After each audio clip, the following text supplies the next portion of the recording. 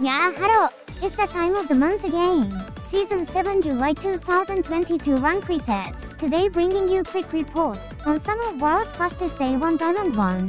Unsurprisingly, we see lot of virtual world as last season, since the latest pack release doesn't affect the meta much. If you plan to net deck, don't just copy the cards as it is, which is lot of new players' mistake.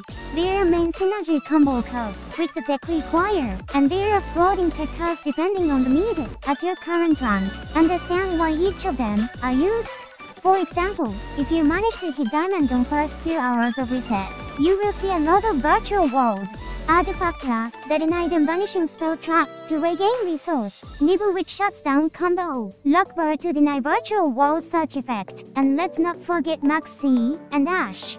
If you're the combo deck player, like Virtual World, Triple Tactic, PSY Gamma Crossout, Code by etc., to anti the anti-meta cards, Note that these are tech specifically for ratio adjusted against certain decks. If you paid attention to the screenshots in the beginning, you are seeing less use of Imperm, which is favorable card to play against Swordsoul. They are still the dominant percentage played in rank, but if you hit Diamond in the first few hours of reset, they almost disappear. This is because Virtual World is probably fastest deck currently to climb, and then with overabundant of one deck, comes decks that specifically take to anti-virtual world.